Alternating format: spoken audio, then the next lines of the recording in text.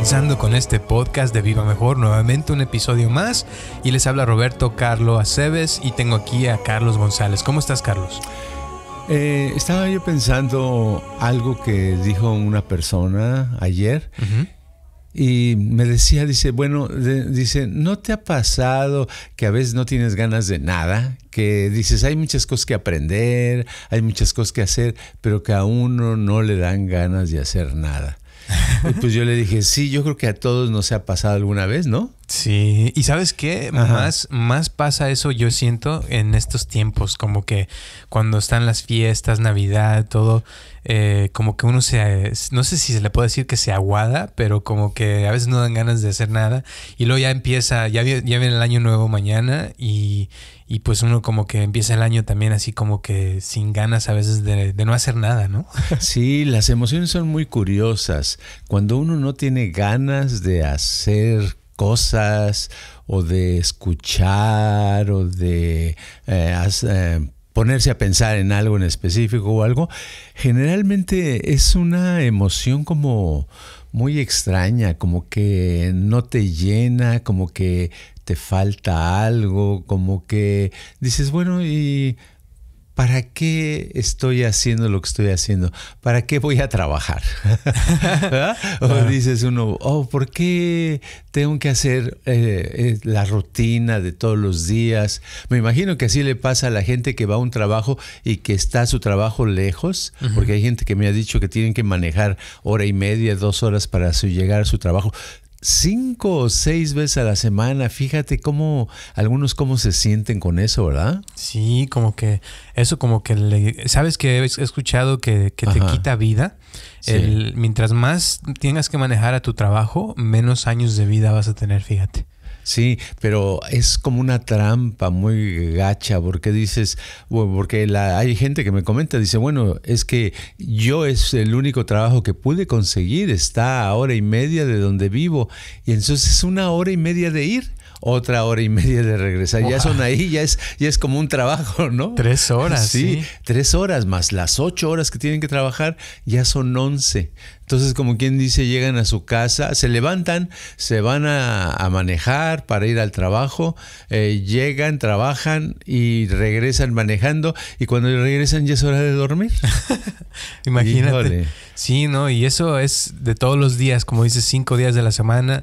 Y eso es a los que les va bien, porque hay gente que trabaja doble o a veces tiene tres trabajos, imagínate. Sí, y luego a veces la persona llega y dice, bueno, pues yo lo único que se me antoja es un alcoholito para relajarse, porque se supone que te relaja, por lo menos eso piensa la persona que, toma un poquito, se siente un poquito mejor, pero después ya que pasa el efecto, la tensión aumenta más. A veces, si ves la vida, a veces suena como un poco aburrida, ¿no?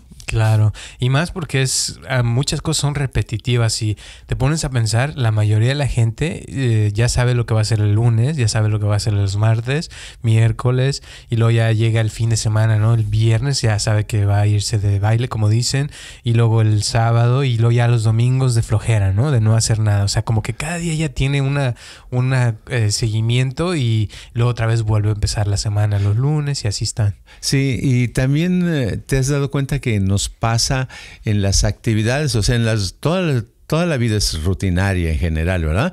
Pero eh, hay cosas, por ejemplo, cuando estamos aprendiendo algo, vamos a suponer que tomamos unas clases de baile. Al principio, ay, la emoción de la clase, de los pasos de baile, etcétera. Pero ya después de un tiempo en que ya más o menos le agarraste la onda a, los pasos, la mente o el cerebro, porque ahora está de moda más el decir el cerebro que mente, ¿verdad? Entonces ya el cerebro ya como que ya agarró la, el patrón de eso, la secuencia. Entonces ya lo empieza a ser uno automático y en el momento que lo empieza a ser automático ya no es tan interesante. ¿Te has fijado? Sí, porque como que, como dices tú, ya se vuelve un robot la persona o lo que no era monótono se vuelve monótono.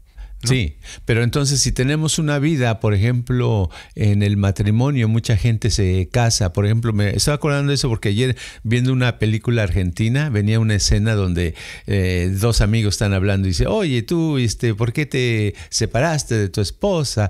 Y el otro le dice, pues es que ya llevábamos 25 años, ya todo era rutinario, era lo mismo, ya no había esa chispa.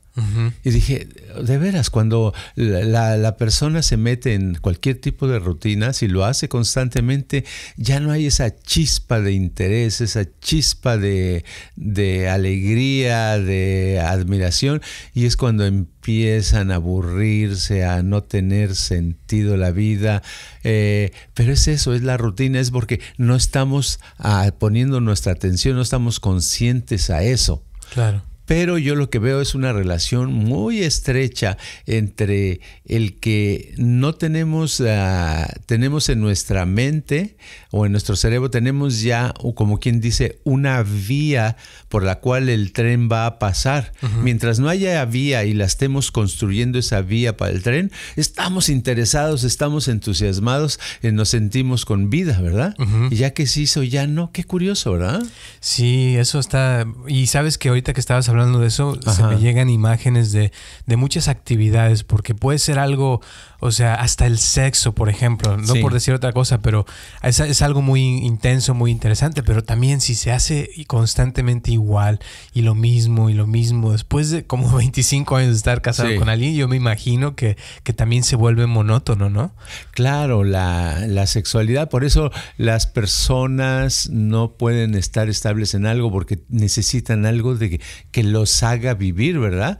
Dicen, no, ya estoy, ya me quiero salir de esta rutina. Entonces, lo primero, si alguien pudiera dejar su trabajo, te apuesto que si le dicen a, la humanidad, el que quiera dejar su trabajo, le conseguimos al siguiente día otro diferente. Uh, la mayoría se cambiarían porque eh, sentirían que ya no se van a aburrir tanto, ¿no? ¿Tú, ¿Tú qué crees? Yo pienso que sí, totalmente de acuerdo. Y, lo he visto aquí también, o sea, ya ves que llevamos, llevo casi 30 años en esto y viene la gente y, y, casi siempre las primeras veces que vienen, oh, wow, esto fue increíble, me siento mejor, este, su vida empieza a mejorar, bla, bla, bla. Y después de semanas o meses, como que ya empiezan a fallar a sus citas o están así haciendo la meditación y ya lo hacen como en automático, o sea, ya no les sale esa chispa como estabas hablando hace rato. Sí. O sea, puede ser cualquier cosa que te guste mucho, hasta por ejemplo a mí me encanta la pizza, pero si como pizza todos los días, después de una semana o dos, como que ya empieza uno a hartarse de lo mismo, ¿no? Exacto, exacto. Sí, es, es volviendo al ejemplo tonto de la vía tenemos la vía, ya que se hizo la vía, ya no nos fijamos en eso y nos aburrimos.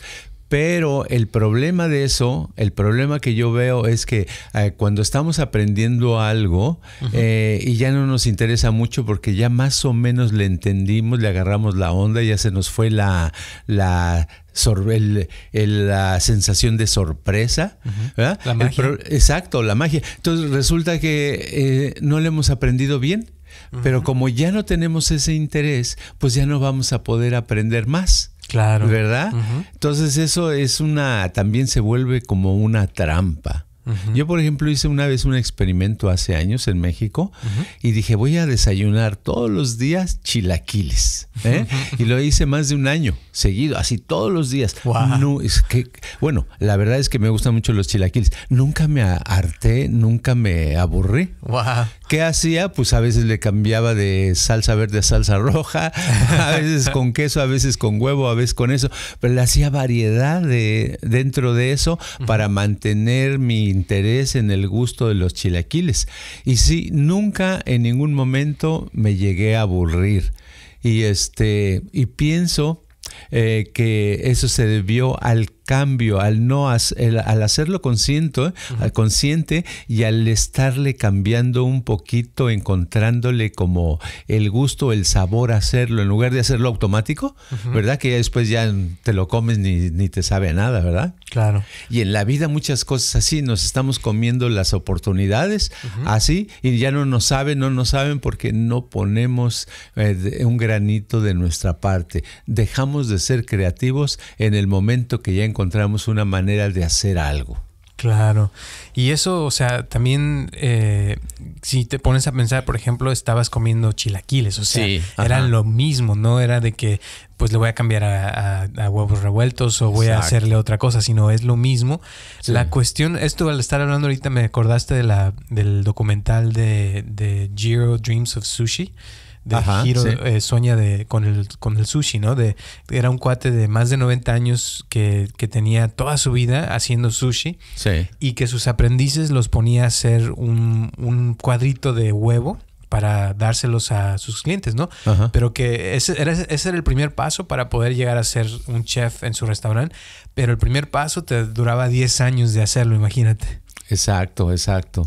Sí, por cierto, ese, esa película, el- cuando la vi, dije, ay, si un día abro un restaurante, quiero abrir algo así, nada más para 10 personas que quepan ahí. Ajá, ¿Verdad? sí. Se me hace interesante como un jueguito, como, como niños, ¿verdad? Ajá. Pero lo que pasa es que ese señor pues tenía toda una vida de conocimiento de hacer y a pesar de tener noventa y tantos años no se aburría. Claro. ¿Verdad? Y seguía haciendo sushi. Exacto, y era lo mismo lo, Lo que mismo, hacía. ajá. Eso es la, yo creo que ahí está la, la clave en una vida buena, en una vida feliz, el poder encontrarle a lo que hacemos, encontrarle los matices, los colores.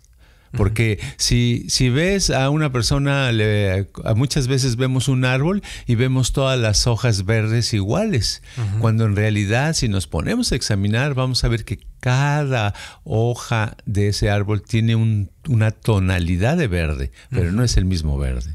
Sí, es aprender a diferenciar, ¿no? Entre Sí. las, la- o sea, los diferentes tonos y, y y una persona mientras más experta se hace en un tema, más cuenta se da. O sea, si fuera alguien experto, por ejemplo, en pintura, Sí. tal vez ve un árbol y ve que son diferentes tipos de verdes, que no nomás es un solo verde, ¿no?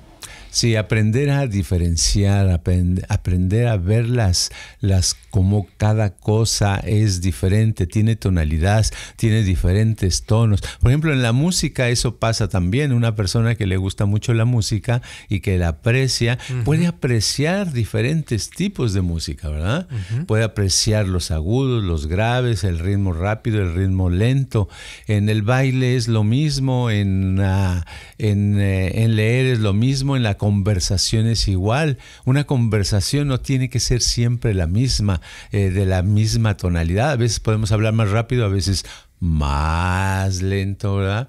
Pero todos esos cambios son los que le dan eh, cierta cosa a la vida.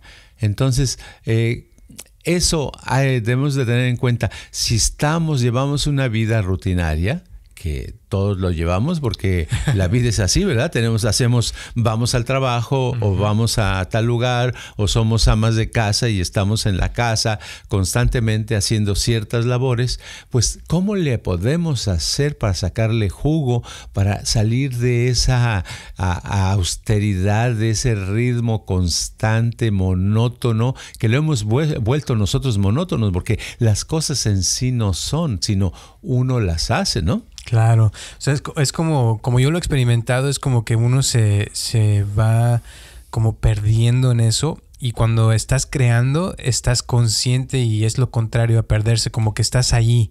O sea, y, y como decías lo del ejemplo del- de la vía del tren, Sí. o sea, es como estar creando constantemente esa vía, pero cada vez mejor, ¿no? Ajá. O sea, y como que hacerle ca- cambios aquí, cambios allá y como mantener eso eh, con vida y, y cuesta porque, o sea, es, es- la conciencia es, es difícil. Yo, yo he visto que hasta aquí, ya ves que llevo, como dije, ya casi 27 años, a veces al estar meditando se mete uno bien fácil en el automático y dejas de, de estar consciente de lo que estás haciendo o, o bien una persona y ya, ya sabes el paso 1, 2 y 3 y, y que le vaya bien. Pero cuando puedes estar consciente con, con esa persona, se siente esa magia y se siente algo especial.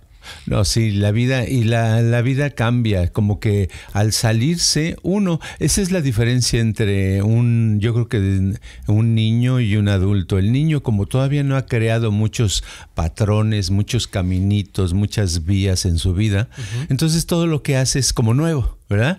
Y al hacer nuevo, tú le ves los ojos que le brillan, le ves que eh, su interés muy grande, lo ves cómo juega cosas, inventa cosas, destruye y vuelve a crear cosas diferentes, que ya los adultos ni nos atrevemos, ¿verdad? Decimos, no, el tenedor va del lado izquierdo y el cuchillo va del lado derecho. Y ya ahí nos quedamos, ¿verdad? Sí. Incluso hasta para hacer un platillo de comida es tan difícil atreverse a ponerle un ingrediente que no acostumbras ponerle, ¿verdad? sí, Así es. exacto. Pero poderlo hacer y poderlo estar dispuesto, como quien dice, a, a experimentar nuevas cosas, eso es lo que nos puede sacar de esa rutina y nos puede hacer nuestra vida mejor. Y lo, el problema de la rutina es que no perdemos conciencia. ¿Verdad? Claro. Esa es la cosa. Y es, o sea, es, si le podríamos llamar la magia de la vida, pienso que está en eso, en la creación. Eh, ahorita que estabas hablando de chilaquiles, eh, me acordé de un restaurante que fui hace tiempo y te sirven los chilaquiles, pero en como en forma de, de rectangular, como si fuera un eh, plato. Sí. Eh, o sea, no, te los ponen como si fueran un molde, ¿no? O sea, y, le ponen una salsa roja encima. O sea, saben riquísimos. Pero cuando te dan algo así diferente a lo que ya tú esperas, como que sientes algo especial. Siguen siendo chilaquiles, pero como los prepararon diferente, como que sientes, wow, este chef sí está consciente, digamos. No sé, así es como lo veo la magia de la vida, ¿no? Sí, y cada cosa que hacemos, cualquier ah, actividad, puede ser desde cómo limpiar, ¿verdad? Algo hacia cómo peinarse, cómo cómo hablar, cómo hacer tu trabajo, eh, hacerlo. A veces son, son cosas diferentes, matices pequeños que tenemos que hacer. Lo que, como tú decías hace rato que hablabas, mencionabas del sexo, el sexo es lo mismo. Para que una pareja vaya continuando y no pierda el interés, debe de tener cambio en los matices y hacerse consciente de lo que está haciendo. Cuando ya se vuelve automático, es el problema. Así cuando yo he oído personas que dicen, no, pues es que a mí, este, nosotros en, la casa tenemos sexo, tocan los ah, miércoles en la tarde y los sábados en la noche. Como que ya está establecido. Entonces ya cuando se vuelve así en rutina, todo empieza a perder cierta magia. Y pues la vida tiene muchas cosas y es tan fácil meterse en la rutina, como decíamos, que, que, es difícil salirse, ¿no? Claro. Y sobre todo, por ejemplo, en estos podcasts, yo he notado que cuando empezamos ya hace más de un año, eh, mucha gente los escuchaba y cada semana, cada semana. Y después llegó, empezó a llegar un punto donde como que tal vez al estarlos escuchando los empezaron a escuchar en automático. Y hay gente que, que, ya me dice, oh sí, este, oh sí, ya los voy a escuchar en, la próxima semana, a ver qué día. Y como que pierde el interés. O sea, hasta el escuchar puede, puede convertirse en automático. Eh, y yo pienso que ahorita, por ejemplo, que estamos con la onda del nuevo año, sería padre como, como refrescarnos y volver otra vez a empezar como de cero y, sea lo que haga uno, sea la cosa más simple, si pudiera uno eh, hacerlo como si fuera la primera vez, como que se puede renovar la, conciencia, la, energía, la, todo, ¿no? Sí, es como en las computadoras, yo lo veo. Eh, tienes una computadora, has ha abierto muchas eh, ventanas, muchas fotos, tienes de todo, has estado usándola por horas entonces de pronto dices, bueno, le voy a limpiar, le voy a hacer un reset, un reajuste, la voy a empezar de nuevo. Entonces la apagas y la prendes.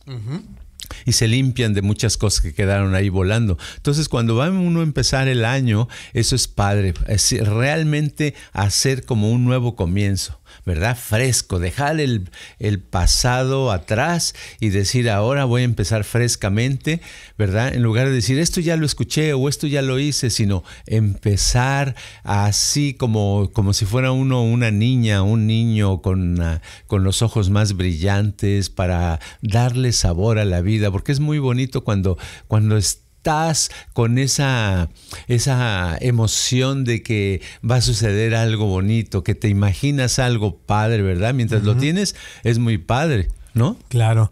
Y esto yo pienso que lo debe uno de aplicar en las cosas, como dices tú, rutinarias, porque, por ejemplo, el trabajo, o sea, uno tiene que trabajar. Dijeras tú, no, pues puedo estar cambiando de trabajo cada semana, pues sería otra cosa, pero, Uh, sí. pero tienes a, a fuerzas que estar trabajando. O tienes, por ejemplo, tu familia o tu pareja y ya estás con esa persona y puedes estar eh, en automático o vivir una vida mágica, ¿no? Con esa persona. Todo depende de cómo, cómo te llevas, cómo, cómo estás en cada momento.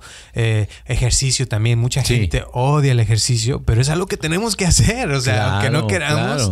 tenemos que hacerlo. Yo, por ejemplo, corro mucho y a veces el estar corriendo y hacer la misma actividad se vuelve rutinaria, se vuelve aburrido y a veces que no tienes ganas, pero ahí es donde entra la magia. O sea, ¿cómo puede uno hacer magia con lo que ya tienes? No es de conseguirse algo nuevo. Mucha gente está esperando a, a que algo cambie en su vida. Sí. No, el chiste es con lo que uno ya tiene, ¿no? Aprovecharlo y, y ahí que nazca la magia, ¿no? Sí, no es malo aburrirse, es parte de la vida aburrirse, pero el aburrimiento debe ser como una señal. Algo que, así como cuando vemos el, que en la temperatura en nuestro teléfono dice, ah, son 90 grados Fahrenheit de temperatura, ah, dice, hace calor, ¿verdad? Entonces, este, me debo de poner ropa más cómoda, más fresca. Lo mismo debe de suceder. Ah, me estoy aburriendo. Ah, quiere decir que me debo de, de salir un poquito de la rutina y hacer las cosas un poquito más conscientemente, ¿verdad? Entonces, hacer las actividades. Uno tiene que estar haciendo sus actividades. No puede uno ah, irse, alejarse y huir de la vida. Donde, quiera, donde quiera que vayas va a haber, esa, va a haber un- algún tipo de rutina. Incluso las vacaciones. Yo recuerdo hace muchos años que un día, eh, después de trabajar muchísimo, siete días a la semana durante dos años seguidos, eh, de pronto eh, me fui, no- nos fuimos de vacaciones a México y dije, no, a, a vivir más bien, a regresar a vivir de Estados Unidos para allá. Y dije, ok, por unos meses no voy a hacer nada. Y sí, hecho. En las primeras semanas dije, ay, qué padre, es no hacer nada, estar descansando, wow, era maravilloso. Pero yo pensé que así podía durar toda la vida. y sabes qué, ya como al mes y medio Ajá. empecé a sentir aburrimiento de estar tan descansado. Y entonces ya busqué actividades. O sea, sí necesita uno hasta de, de descansar, se aburre uno. Claro. Tiene uno que hacer actividades, tiene que hacerlas, pero las tiene que hacer con, con viveza, con fuerza, con ganas, con interés, con ah, no pensar que es lo mismo. Muchas veces estos podcasts se pueden sonar que es lo mismo porque ya nos agarraron el patrón. Todos tenemos una, un patrón para hablar, ¿verdad? Sí. Entonces, parece que estamos, que ya oye- oyen las palabras, oyen que el lenguaje que usamos es, ya, ya nos agarraron la onda y es lo mismo, pero no es lo mismo. Dentro de esos conceptos, dentro de esas ideas que decimos, hay algo que más que se puede captar, hay algo más que nos puede servir y para eso se necesita estar uno un poquito a la, con este vivaracha o vivaracho, tratando de encontrarle una aplicación, porque el chiste es que cuando tenemos ganas, buscamos una manera, ah, esto lo puedo usar para esto, esto lo puedo usar para el otro, esto lo puedo usar ah, para, para aquello. Eh, eh, Eso es lo que nos da la vida, lo que nos hace vibrar de emoción, sentirnos bien, estar contentos, estar con energía. La vida puede ser tan bonita. Así es. Sí, esto me recuerda a, la, a una escena de la película de Razor's Edge, Ajá. donde está el, el personaje de Bill Murray y se va a la India Ujú. y está con un, un hombre ahí que está lavando los trastes y el, el, el cuate le está explicando que a veces cuando está uno consciente y está en, en ese momento, hasta lavar platos puede ser algo muy mágico, o sea, algo religioso, ¿no? Que, que tiene algo especial, o sea, no importa realmente la actividad, yo pienso que es más lo que uno le pone a la actividad que la actividad en sí, ¿no? Sí, hay, hay momentos que podemos recordar todos que fueron especiales y fueron, salieron de la simpleza. Y ahorita me vino, que estabas hablando, me vino un, recuerdo de que estoy en, eh, en, mi casa hace años, en Guadalajara, y allí en Guadalajara de pronto a veces hay unas lluvias fuertes. Entonces me acuerdo que estaba en una salita, estaba yo sentado leyendo y en eso cayó una lluvia muy fuerte y la veía por el cristal como caía, pero en otra ocasión hubiera dicho, ah, está lloviendo, ¿verdad? Pero en esa ocasión dije, está lloviendo. Me quedé yo admirado de que caía lluvia. Dije, como si nunca lo hubiera visto, ¿verdad? Pero así tan padre que me quedó un recuerdo muy bonito de cuando llueve. ¿verdad? De ver una lluvia. Entonces fueron unos minutos, me acuerdo que me pasé más de media hora nada más contemplando cómo caía la lluvia y el tiempo pasó tan bonito que era como si estuviera viendo la mejor película y de algo tan cotidiano como eso, fíjate. Claro, y es que puede ser una experiencia muy especial, simplemente el estado como tú estás, porque ¿cuántas veces no has visto llover? Exacto. Pero esa vez hubo algo especial y eso especial, esa magia, de eso estamos hablando y que se puede tener con cualquier cosa, hasta como tomarse tu café en la mañana o un té o lo que sea que tomes, ¿no? Exacto, es como el cuento Zen. Hay un cuento Zen que están dos eh, estudiantes de meditación en un templo y uno dice, mira, ven una bandera que está lejos en, otra, en otro edificio. Y dicen uno, mira, el viento mueve la bandera, está moviendo la bandera.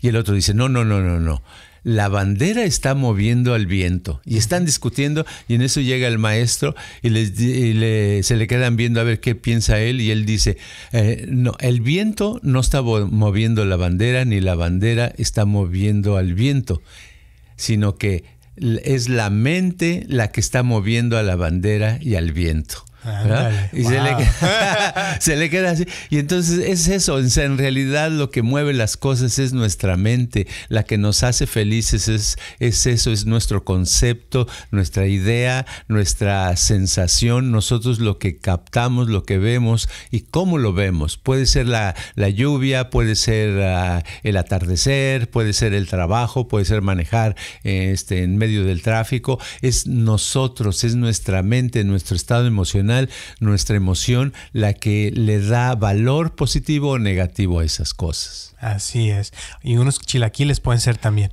Oye, claro, claro que sí. Muy bien. Pues yo creo que con ese le vamos a dejar. Sonó muy padre eso que acabas de decir. ¿Algunas últimas palabras antes de terminar? Yo nada más recomiendo que para este año a comer muchos chilaquiles. Perfecto, pues muchísimas gracias. Feliz año nuevo a todas las personas que nos están escuchando. Les deseamos todo lo mejor del mundo, de verdad. ¿Quieres dar tu Instagram? Carlos G. Mente. Perfecto, pues muchísimas gracias. Nos vemos el próximo martes, ya saben, a la misma hora aquí en, la, en Anchor o en cualquiera de las plataformas que nos escuchan. Gracias a todas las personas. Ah, antes de terminar también quería leer un mensaje que me acaban de mandar eh, hoy en la mañana que me encantó. Dice Roberto, buen día, me encantan sus podcasts y tienen mucha razón. A veces lo que nosotros eh, cosechamos y arrastramos son tristezas y tenemos que cambiar esa mentalidad.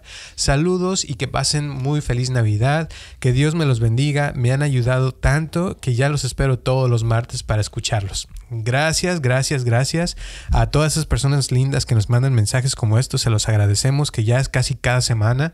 Eh, también les agradecemos a las personas que nos han apoyado eh, con dinero, que nos han mandado dinero donado o los que nos apoyan cada mes. Gracias, gracias, gracias.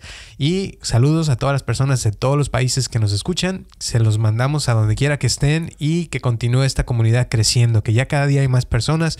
Ayúdenos a, a recomendárselas a otras personas. Ya saben que esto son podcasts que cualquier persona los puede escuchar, no importa de dónde vengan. Y pues gracias y nos vemos el próximo martes a las 6 de la tarde. Este podcast está patrocinado por Viva Mejor. Ayúdanos a compartirlo con tus amistades para que crezca esta comunidad y si te interesa donar algo para que este podcast continúe o si tienes algún problema o pregunta que te gustaría resolver, por favor comunícate al área 714-328-4661 o mándanos un correo electrónico a vivamejor.gmail.com.